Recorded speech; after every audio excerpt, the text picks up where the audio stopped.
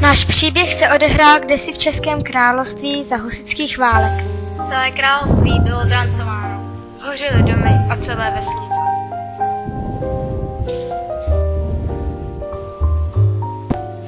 V těchto dobách byl dokonce zabit i král Albrecht a v zemi se opět rozmohly nepokoje, ještě více než předtím.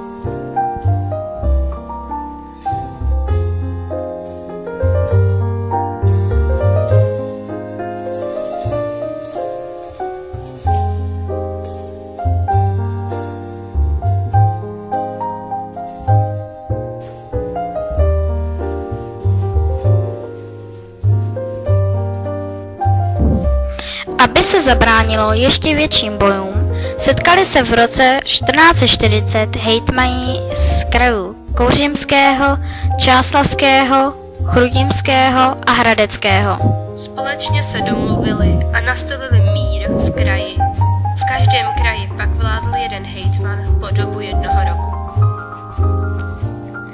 Jedním ze zvolených hejtmanů byl také pan Jan Hroch z Mezilesic. Dnes této obci říkáme Medlešice. Tento pán Hroch dostal od krále Jiřího z Poděbrat za věrné služby i naší obec Týnec. Dávám ti týnec, dobře na něm panuj a hospodař.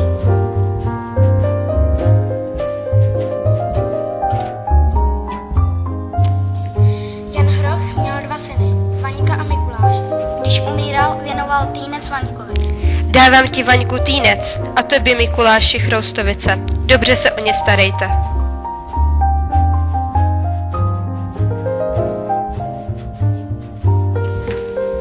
Jenže za panování Vaňka stihla týnec pohromu. Do země vtrhl uherský král Matyáš Korvín, který začal se svými vojsky plenicemi. Vypálte tyto vesnice, vypálte týnec.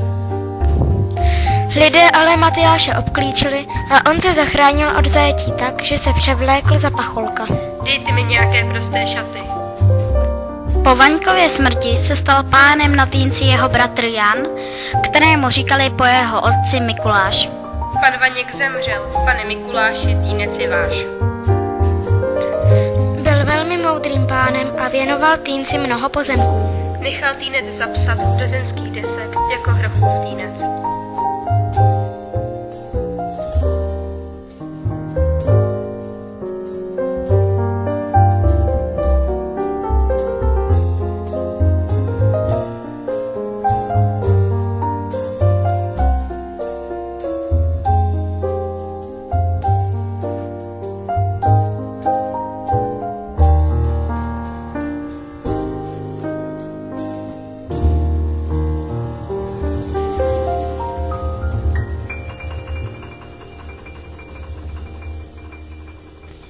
Jenže v roce 1541 došlo k požáru. Zemské desky hoří, pomoc!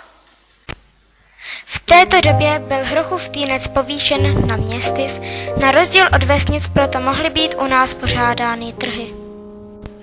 Hrochův týnec také v této době dostal svůj znak. Svatého Martina na koni, který mečem rozsekává žebrákův šat.